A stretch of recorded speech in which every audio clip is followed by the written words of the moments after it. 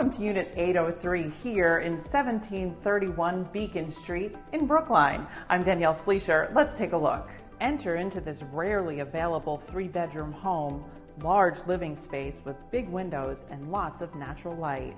Nice wood floors continue into the dining room, which is off of the updated kitchen with stainless steel appliances. The main suite features an oversized bedroom with more large windows, a spacious walk in closet, and an ensuite bathroom with tiled shower. Two more good sized bedrooms with work from home space, plenty of closets, plus a second full bathroom complete this home.